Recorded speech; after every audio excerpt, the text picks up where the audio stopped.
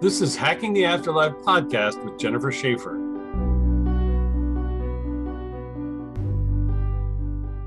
Hi, Jennifer. Oh, hi. How are you? I'm doing fabulous. How are you? Fantastico. I'm broadcasting to you live from Elos di Cadore. And I am broadcasting live from my office. Yay! Away from Manhattan Beacho. Manhattan Beach, oh, California. Actually, this photograph um, is from a town right near where my grandparents are from in Italy. Oh, So it's just a fun place to visit, even my mind. that's pretty awesome. the pandemic. So we're a little, we're a couple of days off our schedule, Yes. And I'm just curious: as our class, does that upset their schedule, or do they they don't care? Yeah, because they're all at church. Hold on. No. Hold on. Not really. Not Really? Okay. I think because they're outside of time, Right. big deal to ring their doorbell. They already know. So they already know before Yeah. I say, "Oh, I can't do it." I was Oh. having, I was having a physical done, Hmm. Cool. In my case, sometimes I'm having a conversation with Luana. I mean, I find myself waking up, you know, half awake, half asleep. And within the conversation, she's telling me something. And this happened, I think last week, just be, a couple days before Mhm. our scheduled time. And she was in the midst of telling me something. You know, I became aware of it in the dream. Oh, I'm having a conversation with Luana. And for the audience tuning in for the first time, Luana's our friend on the flip side who helps uh, us navigate a classroom. Mhm. Luana Anders. clipboard, and I have mine. Yeah, I have my clipboard with a bunch of stuff on it. But anyway, I'm having this dream where I'm talking to my friend Luana, but I'm aware that we're in mid conversation, so I don't know what was said before. And at some point, she said, she started to say something, and I said, Oh, I get it. That's funny. But she never said it. So it's like my higher self was tapping in to herself. And I was trying consciously to remember what was the thing that I saw that I said, Oh, I get it, that's funny. And I couldn't I couldn't access it. It was it's like when we're talking to somebody and they give you an answer or you sometimes answer before I even think the question Right. it was like that. And then I asked her, I said, What was it? What was the context? So we can talk about it in class. And she said, Process and access. Meaning, how is this information processed and how do we access them? So let's ask Lou, Luana. Uh, is that something you wanted to talk about? Yes. Um, I said, why? And she said, because you forget. People forget. And then she's People pointing, forget. She is pointing at me. Even I forget to ask. here, I ask all day long for everybody else. Yeah. I ask actually, I even dive into more questions thanks to you. You know, I don't just take what they give me, I actually dive in even further for questions. Um, but she said, we, we forget that we have access that we can ask. that we can ask. So let's let's go down those two avenues and see where they go. So Lou, let's talk about process. What is the process of you guys changing your frequency so that we can have a conversation? We just allow it to happen.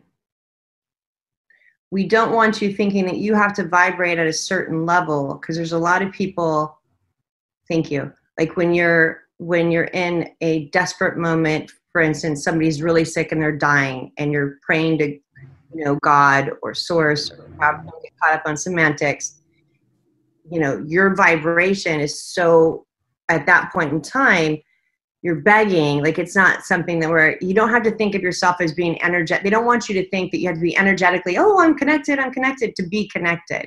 It could be at any point in your life and this is what people don't understand they think their frequency is too low that that's the reason why they're not getting messages and that could be that couldn't be farther away from the truth but if you think that way then the universe lets you have it that way so thank you so when she when Luana said this in the beginning that we can the free we just access it because what did I say? I already forgot. Hold on. Oh, just that idea of frequency adjustment. It's not so important for people over here to adjust their frequency or raise it or shout or be intense. believe it, and that's what they said. Have to believe it. Have to believe. What you said? Yes. So we yes, that's what I said. Okay. So let's hold that for one second. It's important. We've heard it before. The idea of believing that it's possible you don't have to wear a pyramid hat and believe that by wearing this hat, suddenly you can communicate with people on the other side. You don't or, have to.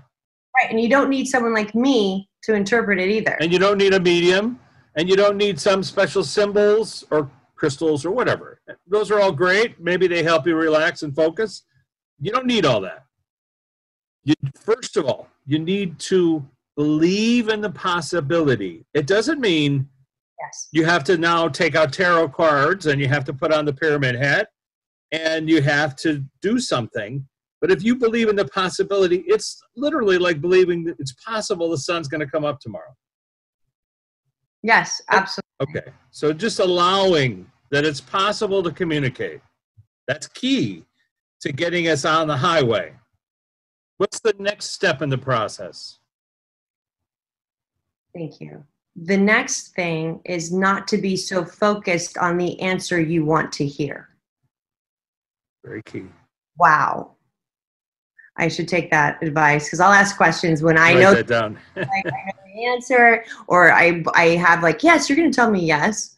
Um, well, even in the case of a person out there, average Joe, who wants to know how can I help cure my mom, or how can I get rid of this disease? You're so invested in the outcome that you can't.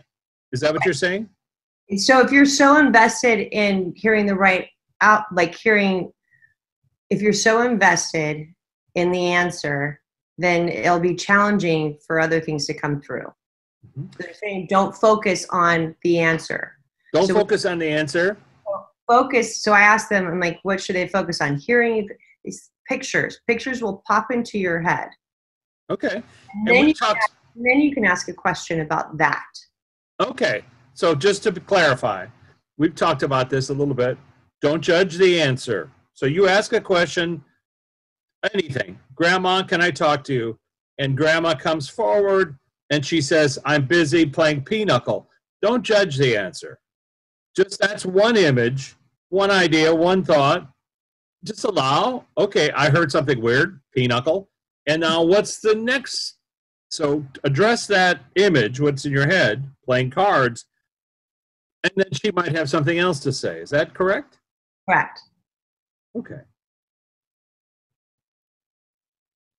It might be about, and then if she's playing pinochle, which I don't understand what that means, if she's playing that, it might it might be that she's showing you a game she's not actually playing it to not talk to you. She's showing you a game because she's telling you to free your mind or to go play. Brilliant. Excellent. That this is like a game.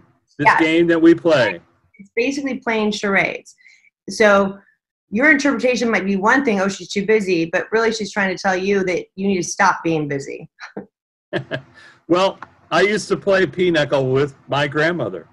What is pinochle? What is that? It's an Italian game. I think it's an Italian game but it's a card game. And you know, I my grandmother was in her probably her 60s, 70s, and you know the boys were out running around shooting things, and I was like, yeah, come on, let's play cards.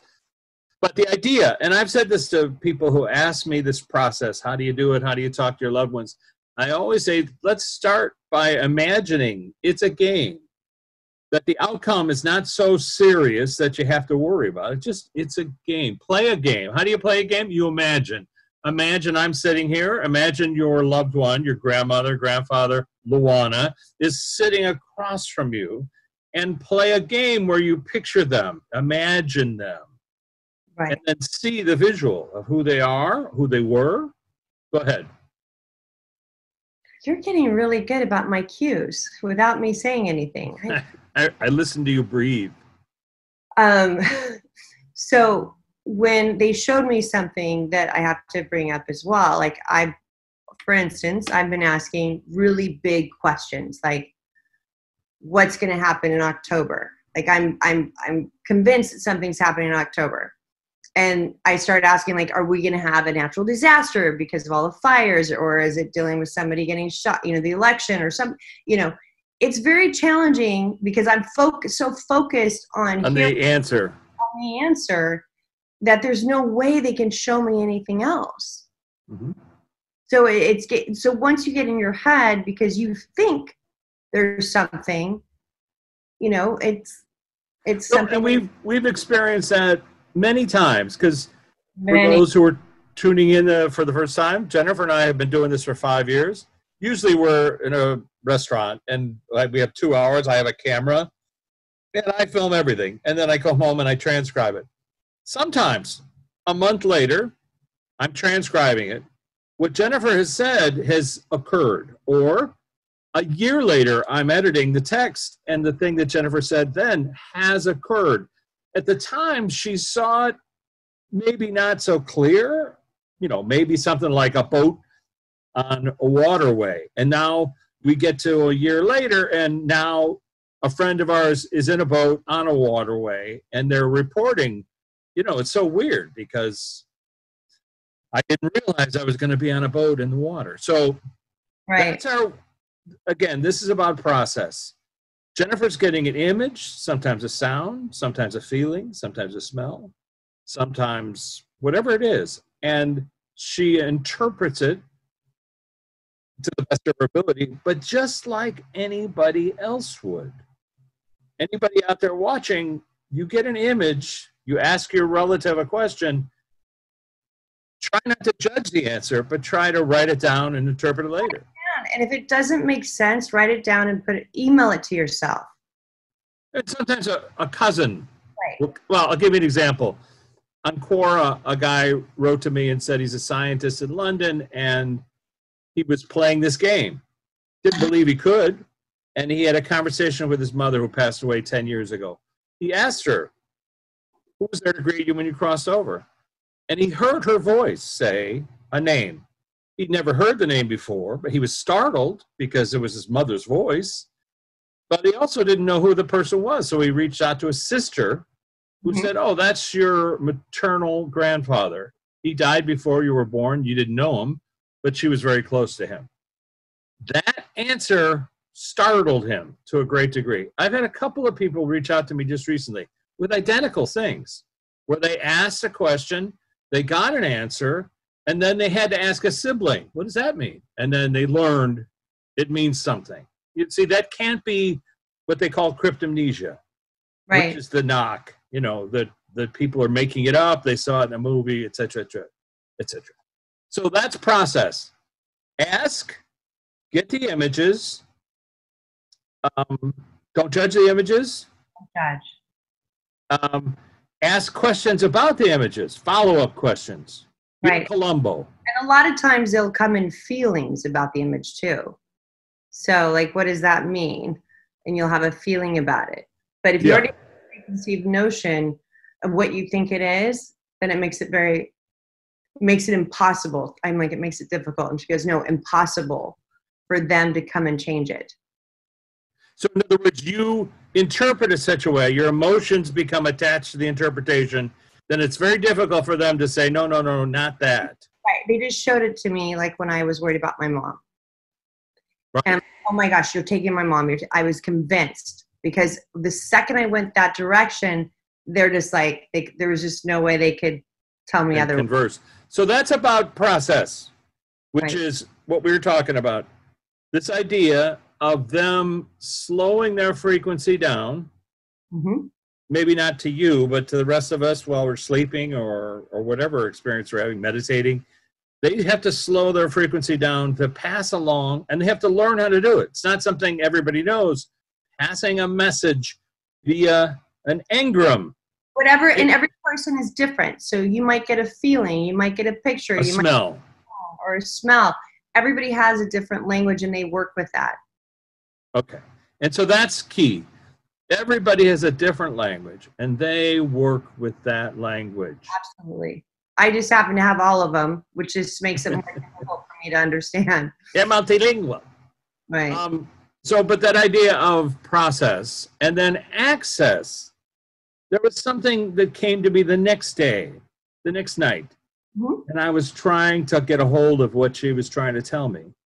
And it came out as palindrome. And I thought, you mean like Madam in Eden, I'm Adam, which, you know, you say it both ways Uh huh. backwards and forwards. And she said, Yeah, the idea that we're here, part of our conscious self is here, a third, let's say, what people refer to, and two thirds of us is always back home. So it's like we are, I'm Richard here, and I'm also Richard on the flip side. And we have to remember that we have this palindrome always, so we can access our higher selves or our guides or our friends or our loved ones because their energy is always back there, back home. Right. Did you want to talk about that at all, or is that what you meant, or am I getting that all wrong? No, you got it right. Hold on. We ask to be asked. So, thank you. They're there no matter what, just like your guides are there no matter what. Your loved ones are there. All you have to do is think of them. But they ask to be asked the information. Like, ask them, are you there? Because that'll give them a chance to, to get more of a, you know, to reply.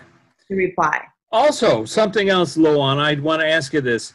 And so she, People- she just showed me, real fast, sorry, she Please. just showed somebody being asked a, like asking a question and them just going like this like so so in order for them to feel it more ask who you want to talk to give them time That's their name.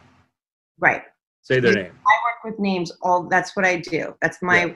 A lot of people have different modalities that they use i work with names You said this recently, and I thought it was very interesting. Um, also, the name helps them fix in time who you're referring to. Because if you talk to your great grandmother, but you're also aware that she's also had her previous lifetime as a Viking, if you refer to great grandmother, asking her questions about the Viking era is just confusing. But if you ask the Viking about his experience, let's say, so asking a name helps them to figure out where on their timeline.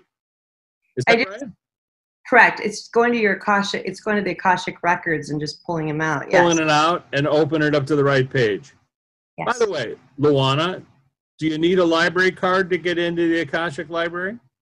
You just showed me my daughter. That's so funny.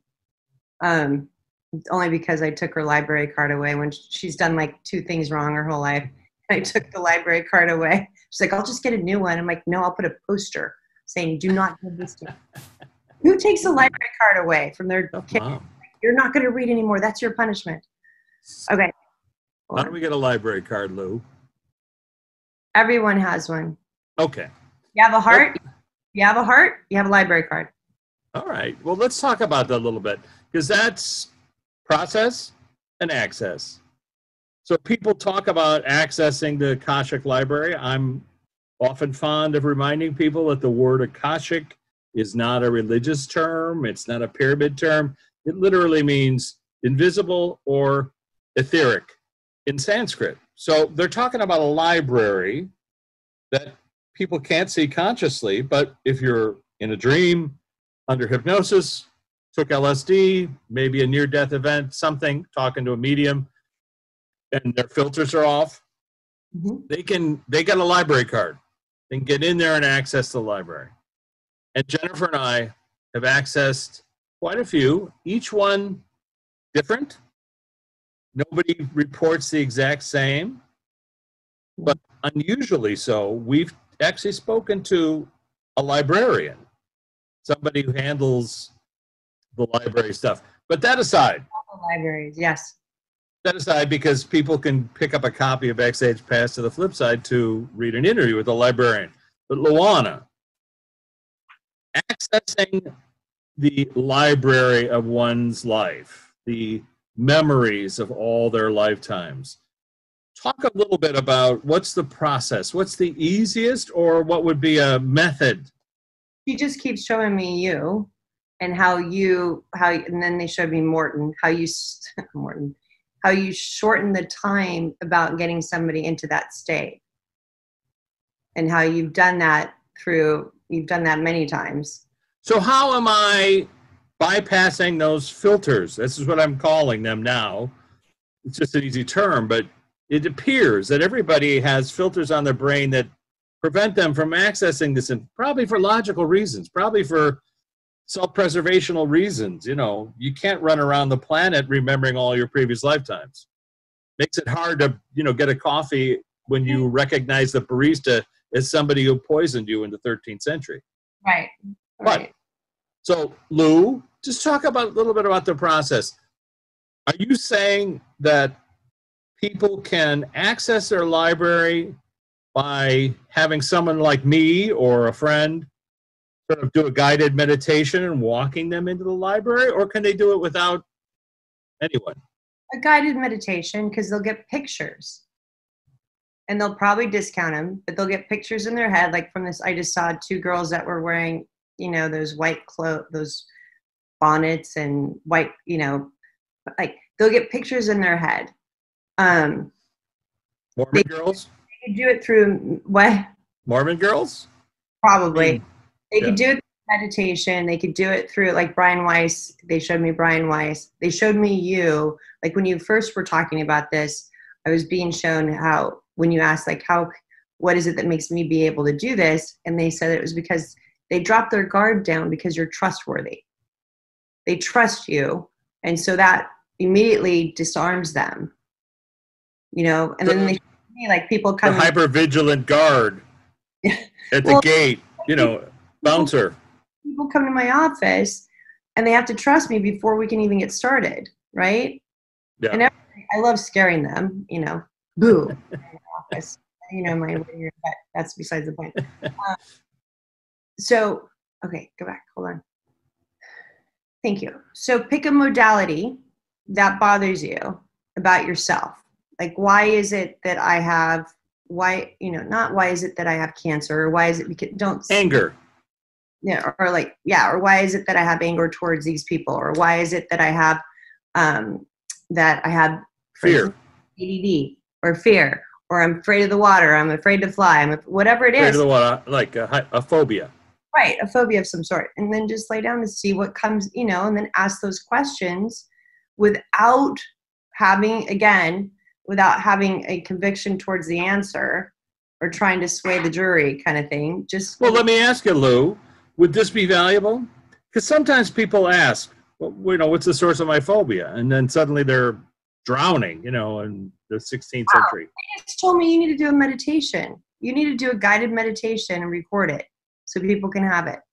Well, that's that's good. That would be a way. And I, but I'm asking, can we perhaps, um, if you have to do it by yourself, maybe add this little element, which is imagine a library.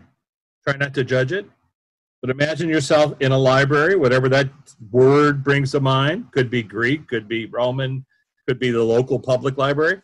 Walking through the stacks, walking up to your the book of your life, and then you look through the titles and oh phobias and you're going to pull that phobia book out open it up and this way you're not connected to the image you're you're you're asking the book to give you the memory of the That's painful event would that be helpful lou Very much so. so it's like a guided meditation but i've just given it So- Right. That's but well, that that, way you can close the book, put it back on the shelf, and say, "Gee, I got to think about that." You know, I just saw my. There was a guy. Um, this was online recently, and it was, a guy had wrote, written an article about how he had gone to see a hypnotherapist, and he wanted to know why he had dandruff his whole life or eczema or you know some issue. And he flashed back to being scalped. You know the hypnotherapist said let's go back.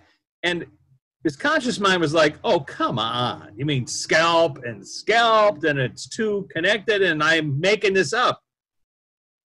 But the guy just dismissed it entirely. Whereas dr weiss you mentioned him Mhm. the, michael newton and others have reported incidents where they had clients who have accessed the memory of being something on. I filmed it in the movie Flipside. Woman had severe aquaphobia, remembered drowning, and accessed why that happened, what happened, and then a couple of months later, I filmed her swimming. She the phobia went away. Right. So it's possible to do that. One could argue you're tapping in your subconscious, and the subconscious is allowing you to overcome it. However, the result is the same. You don't even have to believe in it. You should try, but you don't have to believe in it and see if it works. See if it works. Okay, Lou, take a look at your clipboard. Uh, has anybody come forward today that wanted to talk to us? I knew you wanted to talk about access and process. Billy's come through. Oh, Mr. Paxton. Yeah, he's come through a couple times as we were talking, but every time we went on another tangent. So, I'm sorry, Billy. I didn't see you over her shoulder. um, What's up? hold on.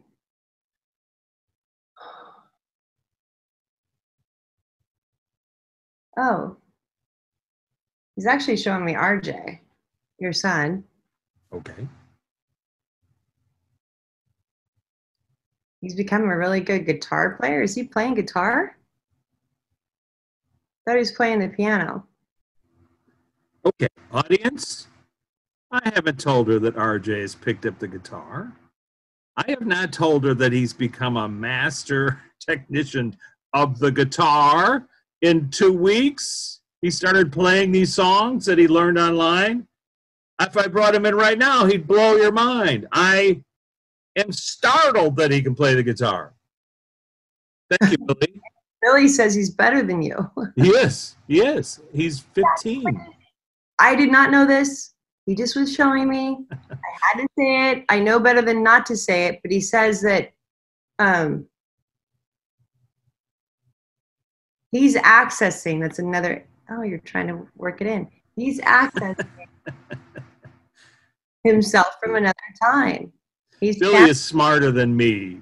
I just got to give this, you know, he was always smarter than me. He was a better director than me. but and obviously a great actor. But here he is sharing some really brilliant insight, something that Jennifer couldn't possibly know. no. My son picked up the guitar about two weeks ago, maybe three, and started playing. And I've sat with him a couple of times and just, you know, showed him a couple of chords. And I mean, I was jaw dropping saying, Where'd you learn that? You know, he heard it once. And House of the Rising Sun. He plays it as good as it is on the original record. He says that he's going to be one of the best. Like he's going to be one of the best guitar players there is. Billy, come on. Let's not go down that path. Likely outcomes. I Nothing. appreciate it. No, no, I love the guy. He can mhm. say whatever he wants. Come on. I didn't know that he played guitar. I knew that he was a great piano player. And usually, when when your mother comes through, she talks about his piano playing. Piano playing, yes, he does. And and we watch him play. And my wife the other day said, "Didn't didn't Jennifer say that your mother is helping him play?" Because I mean, forget about it. my mom was a concert pianist. So what can I say? Yeah. AnthonyMartini.com. You can hear her play. I was waiting So for Billy, that can't be the only thing you want to tell us, but it could be. But yes, are you talking about the access? it was yes it was to wrap up he said he goes it was, it was a teaching thank you. It was a teaching moment that he rj he showed me all and then he showed me like you know um how how i access billy right? That's step number one. He showed me something that i did not know which was rj playing the guitar. I knew who rj was. That was that's your son and then he showed me how he showed us how RJ is accessing you know versions of himself whether it's consciously or not consciously and he doesn't have fear with it and he's just playing away which is exceptional. And then he showed me it's kind of like beethoven right? How beethoven you know he's saying it's kind of like that. That's how great of a player he is which i didn't know about. You're learning like you're listening to him play but so he's saying it's a it's a it's a good it's something for all of us to learn that by accident don't have fear with, i didn't have fear with getting okay thank you. That's his, that's the biggest message. I did not have fear with what billy told me billy paxton told me. I didn't have fear telling you this. The worst thing that could happen is i was wrong and you'd say no i don't know about the guitar. Like that's right? Well that would be a first jennifer. But, but, but, to allow this thought and i appreciate it billy but we have talked a little bit about it before. But I didn't, have fear, I didn't have fear, and neither does your son. He doesn't Yeah. have. That's brilliant. the big thing I wanted to say. I think that's brilliant. That the dropping the fear helps you with the access. Right. Dropping the fear helps you with accessing your loved ones on the other side. Dropping the fear of why you're on the planet helps you navigate the planet. But Drop. it's also key to this moment of access to music. Beethoven wrote about it, how he connected to the beyond the spheres, he called it, where music came from to him. So he had no fear to accessing those those sounds, those tones, those vibrations that somehow, perhaps when he was asleep, also awake when he was writing, Right. believable scores, he channeled, pulled down this information. Oh, I'm pretty good at that from the flip side. And so, what Billy is also saying, and correct me if I'm wrong, Bill, which is when you open yourself up to the other side, to creativity, you can channel things. You can channel and hold on. He's like everything. I'm like, what's the percentage of people channeling? He's like 60%. And then he's kidding around. He's like, everything is channeled. Whether you're Everything is. it's just whether you're conscious of it or not. Whether you have writing, you know, you get the writer's block that goes with everything. Yeah. Because if you have fear, then you get blocked. Okay. Let's examine this, unpack this for a second. Everything is channeled. We talked to Chadwick Boseman last week, and we asked him how was he able to channel so many characters that he played, and he was saying how he was able to act. He said it in life too that you know he'd say this take is for James Brown because I can hear him in heaven telling me how to do this. But Billy just said something very interesting, and I think it's key, and it has to do with access everything is channeled. So if we take the Madam I'm Adam sentence, that we are also here and we're also off stage back home, Mhm. a bulk of us, two thirds of us, according to everybody, then when we access information, we're channeling that information as well. And so it's almost like we're marionettes as humans. Certainly, we go through our own cappuccino, pizza, wine, whatever I'm going through. Uh, Billy, am I right? Is that what you meant? Yes. Yes. And then he showed me something else though that was interesting. I'm like, well, people are studying, and then he showed me the Bible. Like people study, but the peop people are studying information that has been channeled. So, like if you're studying Beethoven, Beethoven channeled it. So somebody has channeled whatever you're studying, one way or another, or they learned about it one way or another. And then I got shown. Hold on a second. Um, damn it! I just missed it. Show me again. Hold on a second. Oh, the Bible was channeled. That's what I was going to ask. Who wrote the Bible? The Bible was channeled. It was channeled. I mean, people wrote about the Bible hundreds of years later after the fact. Like, I, I've heard it quite often. People talking about the Bible being the Word of God, and I always say the metaphor of what God is trying to tell you about unconditional love, about how to live your life, etc., etc. They argue. They get upset. They burn people. They hang them. They put them at the stake because they want to say that their interpretation of that book is the only one. But if you consider that everything is channeled or pulled off the flip side or from a higher self, then it changes everything that we know. Doesn't it? All right. I got a weird one for you. Billy, that was great. You're going to help me with this. Luana, that was great. I hope you can help me with this one. I this came this morning, just popped into my head. And I thought, why not? So there's a dog that I want to access. And the dog's name is Venus. V E N U S. It's funny because I saw Lassie when you said that. Okay. Venus. Venus. Little dog. I'll tell you as much as I can. But I want to find out, I want to talk to him. Because Okay. we've we've had this experience. Venus connected to Sherry. No. Okay. Not connected to anyone that's in my family or around my world, but connected to somebody that I know. Venus. Okay. And Luana, I listen, we don't have to talk to Venus. Luana, this is I'm putting him onto your guest list.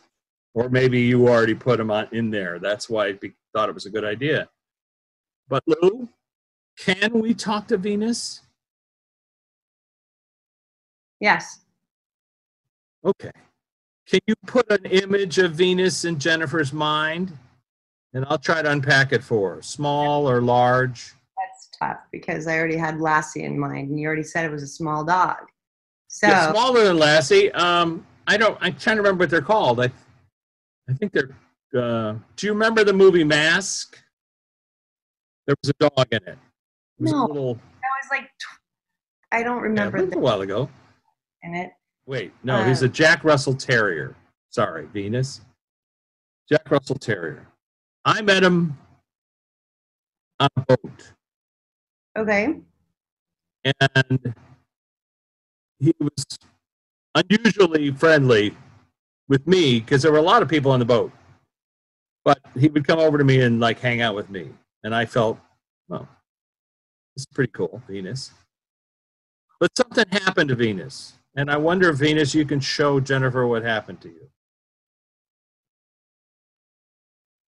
I almost felt like he was missing. Does that make sense? Yes, that's correct. And then he's showing because I just saw like a like a poster of a reward of him missing. But I don't, that in your mind, missing. Yeah, that's correct. you and want then to show Jennifer what happened? How did you go missing?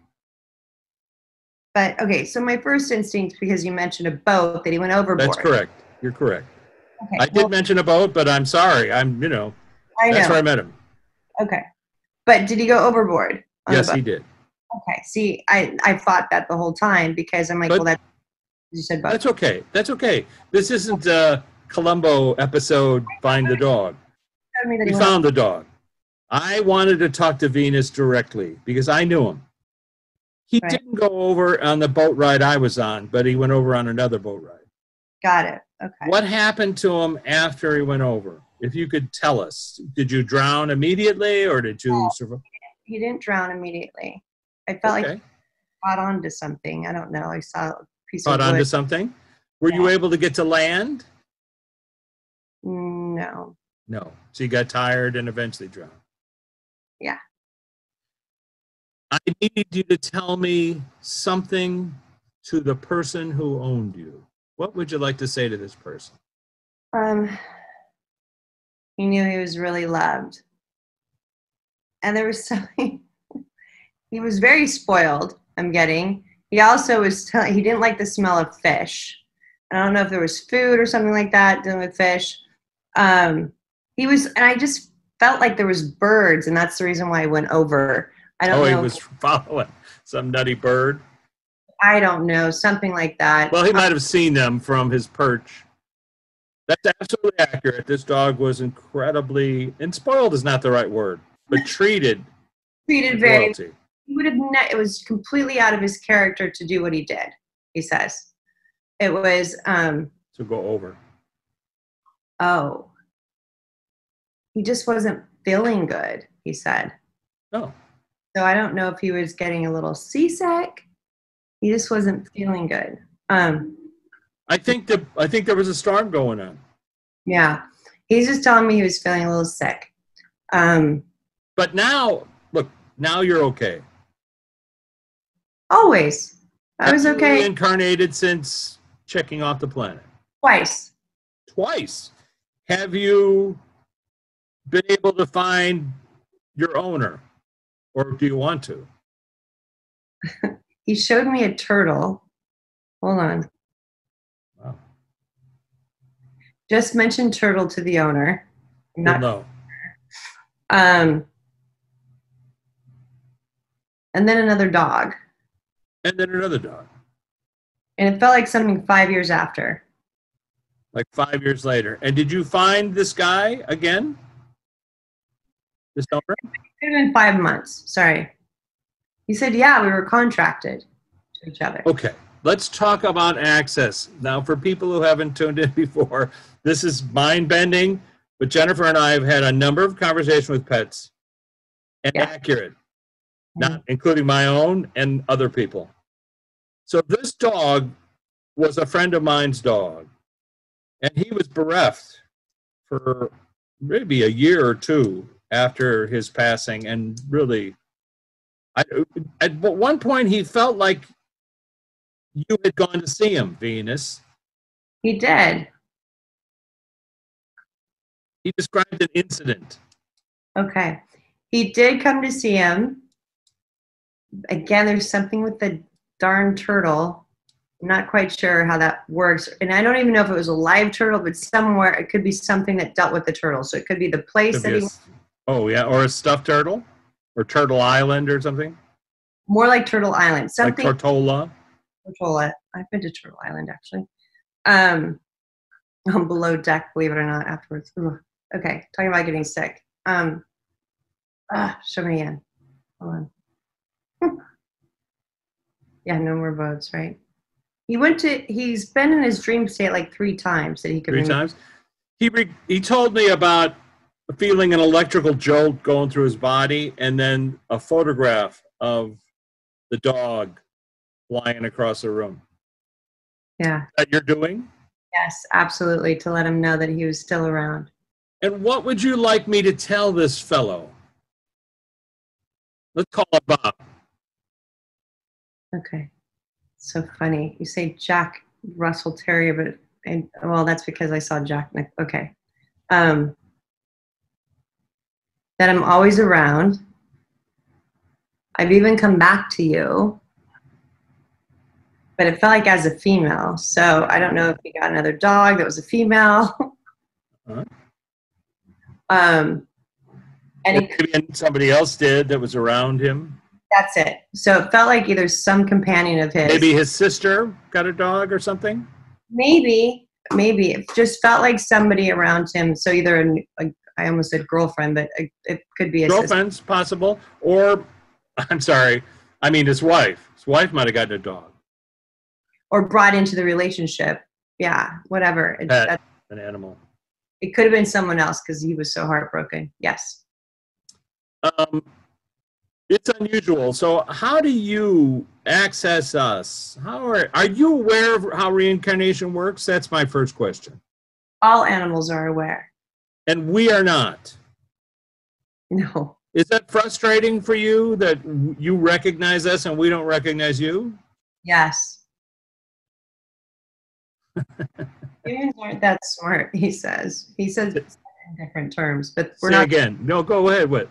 Humans are not that smart. Humans are not that effing smart. Right. Okay.